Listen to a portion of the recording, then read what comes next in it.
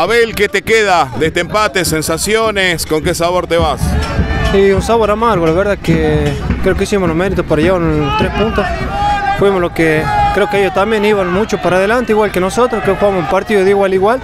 Nunca nos quedamos, eh, creo que hay una jugada que sale eh, la pincha atrás y entro yo chocando con un defensor y el arquero hace gol solo. Espero que después lo vean en el video y nadie lo toca. Es gol en contra y no sé qué cobra el árbitro.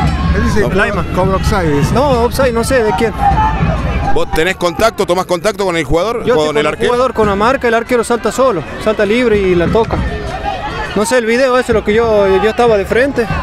Por eso me, me tomo por sorpresa y la verdad que creo que era un gol legítimo, ¿no? ¿Siente que dejaron dos puntos hoy? Sí, más allá de eso, creo que fue un rival duro. Eh, eh, fue difícil, fue difícil, la verdad que ellos también tienen un gran equipo. Creo que hoy nos paramos de igual a igual y creo que demostramos que estamos para mucho más.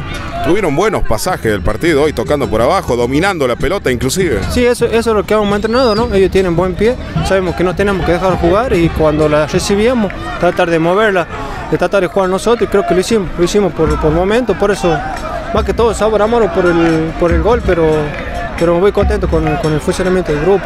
Como capitán, como referente ya de este equipo que sos, eh, ¿qué te queda del fin de semana anterior, lo de Independiente? Porque no se escuchó ninguna voz todavía de San Francisco, solo habló del lado de Independiente. ¿Qué pasó? Sí, la verdad es que yo no fui ese día, eh, estaba enfermo, estuve enfermo hasta el, hasta el jueves, no fui a entrenar tampoco, no fui al partido, eh, pero creo que, que bueno, hay un incidente con los un cruce de palabras con unos jugadores, los hinchas, pero nada más, nada más de eso, ¿no? Creo que ahí ya dejó en claro los independientes que no van a buscar los puntos, solamente fue ahí un, contratiempo.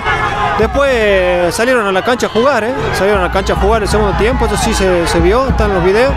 Y no sé, no sé cómo lo toman el tribunal de disciplina, ¿no? Porque salieron a jugar y se quedaron adentro y no quisieron jugar eh, independiente. Así que no sé, la verdad, nosotros estaban para jugar ese partido. ¿Son candidatos? ¿Se sienten candidatos a ganar el campeonato? Vamos paso a paso, vamos paso a paso. Como te dije ahora, este partido creo que demostramos nosotros mismos que, estamos por un poquito más, que podemos contra cualquiera y vamos a dar pelea. Gracias, a ver. gracias a ustedes, muchachos.